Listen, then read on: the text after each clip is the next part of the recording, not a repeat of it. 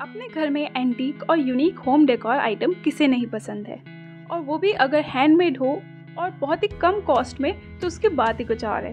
So hello and नमस्ते everyone welcome back to my channel Art Shell हमारा first antique हुआ है एक संदूक। तो इसको बनाने के लिए मैंने यूज़ किया है कैडबरी का ये चॉकलेट बॉक्स इसके बाद मैंने पानी और फेविकॉल को इक्वल अमाउंट में मिक्स किया है और उसकी हेल्प से मैंने इस पूरे बॉक्स पर टिश्यू पेपर लगाया है। ब्रश की हेल्प से आपने धीरे धीरे इस टिश्यू पेपर को इस पर स्टिक करते जाना है। आप चाहो तो ये स्टेप स्किप करके डायरेक्ट पेंट भी कर सकते हो, पर देन टिश्यू पेपर से एक टेक्सचर आता है, जो कि हमें मोस्टली एंटीक चीज़ों में देखने को मिलता है। इसलिए मैंने टिश्यू पेपर का यहाँ पे यूज़ किया है। ऐसे संदूक बनाने के लिए आप एमडीएफ के बॉक्सेस भी ले सकते हैं। लिंक मैं आपको डिस्क्रिप्शन बॉक्स में दे दूँगी। तो ये टिश्यू पेपर लग के पूरा सूख चुका है। इसके बाद मैंने लिया है मोल्डेड क्ले। दोनों कंपाउंड को मिक्स करके एक डो बना लिया है और फिर उसे कुछ इस तरीके से मैंने रोल किया है। अगर आप क्ले यूज़ नहीं करना चाहते हैं तो उसका सब्सटीट्यूट मैंने नेक्स्ट डी में शेयर किया है। अभी इस संदूक के ऊपर मैंने पेंसिल से पहले ही मार्किंग कर लिया था और उसके ऊपर फेविकॉल की हेल्प से मैंने अपना ये क्ले जो है वो स्टिक किया है। इस संदूक को डेकोरेट करने के लिए हमारे पास बहुत सारे अदर ऑप्शंस भी है। जैसे आपने मिरर का यूज़ कर लिया या फिर स्टोन्स का यूज़ कर लो, आप इस पर डायरेक्ट पेंटिंग भी कर सकते हैं। तो it all depends on you आप इसको कैसा लुक देना चाहते हैं। यहाँ पे मैंने पूरा इस पर क्ले वर्क ही किया है और बहुत ही easy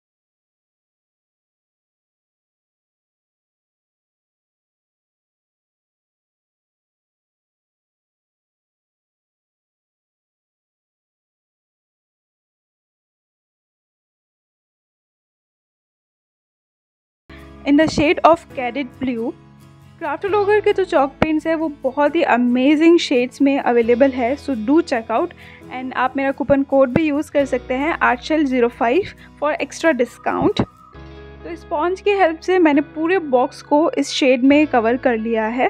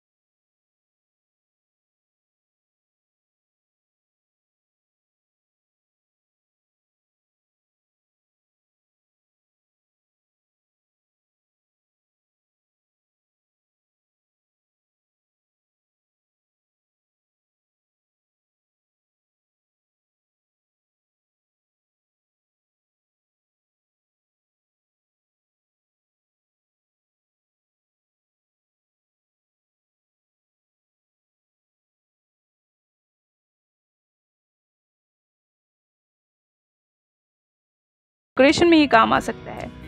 तो इसको मैंने सबसे पहले कर दिया गोल्डन स्प्रे पेंट और ये मैंने यहाँ पे कवर कर लिया था सो दैट ये ब्लैक ही रहे। इसके बाद एक्स्ट्रा कोई पेंट लग गया था तो मैंने नेल पेंट रिमूवर की हेल्प से उसको रिमूव कर दिया। फिर ये हमारे पास एक कार्डबोर्ड का टुकड़ा था जो कि हमारे पास मोस्टली पैकेजिंग वगैरह में आता है। तो इसको मैंने ब्लैक पेंट करके और यहाँ पे इस तरीके से स्टिक कर दिया। रेगुलेटर्स जो थे इसके वॉल्यूम और चैनल के, उसको भी मैंने ब्लैक पेंट करके यहाँ पे स्टिक कर दिया। एंड दैट्स इट इतना सिंपल था, ये वाला डी आई तो।